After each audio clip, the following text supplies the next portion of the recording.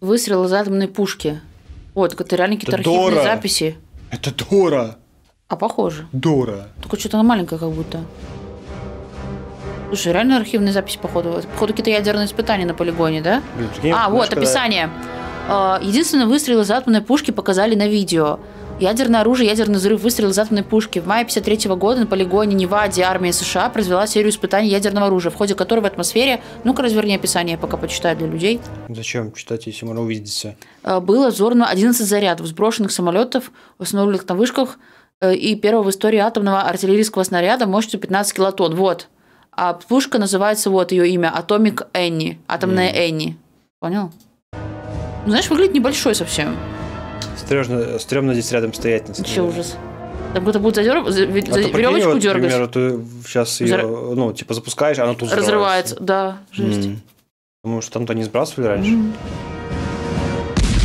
Бам! И улетела куда-то. Она, кстати, даже как будто поехал немножко вперед, нет? Не, она то, типа, отодвинулась обратно. О, все. Да, пошло это зарево страшное. Так он недалеко летит совершенно. Во, гриб пошел. Ну, сколько, километров пять, что ли, стрельнул? Блин, так страшно, эти грибы смотришь, такие ассоциации ужасные. А, и вот они поставили, видимо, рядом объекты. Ага. Слушай, как камера не сгорела? Видишь, сразу все краска слетела. Не знаю, как-нибудь закрепили камеру, в принципе. Да, я вообще не Что даже должна была не- она уничтожить. даже не сдвинулась. Тем более тогда же были технологии 53 год, не такие, как сейчас.